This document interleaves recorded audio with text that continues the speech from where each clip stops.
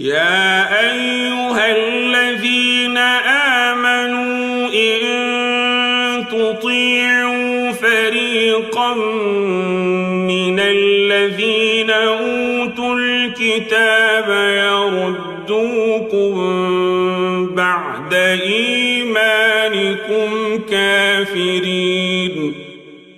رغم أن الآية الكريمة نزلت في نفر من الصحابة الكرام من الأوس والخزرج كما أسلفنا إلا أن الله عز وجل وجه خطابه للمؤمنين وذلك لأن العبرة ليست بخصوص السبب وإنما بعموم اللفظ.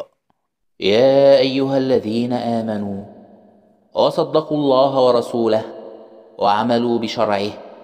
إن تطيعوا جماعة من اليهود والنصارى ممن آتاهم الله التوراة والإنجيل وتستمعون إلى ما يلقوه من دسائس يردوكم بعد إيمانكم كافرين ويضلوكم ويلقوا إليكم الشبه في دينكم لترجعوا جاحدين للحق بعد أن كنتم مؤمنين به فلا تأمنوهم على دينكم ولا تقبلوا لهم رأيا أو مشورة وتأمل معي أخي الكريم بعد أن خاطب الله عز وجل أهل الكتاب بقوله تعالى قل يا أهل الكتاب أي قل لهم يا محمد خاطب المؤمنين مباشرة وذلك إظهارا لجلالة قدرهم وإشعارا بأنهم الأحق بالمخاطبة من الله تعالى.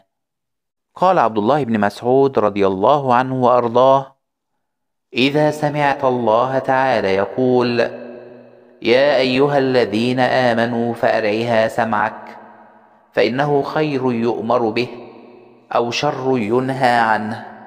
وقال عبد الله بن عباس رضي الله عنه وأرضاه يا معشر المسلمين كيف تسألون أهل الكتاب؟ وكتابكم الذي أنزل على نبيه صلى الله عليه وسلم أحدث الإخبار بالله. يا أيها الذين آمنوا إن تطيعوا فريقا من الذين أوتوا الكتاب يردوكم بعد إيمانكم كافرين.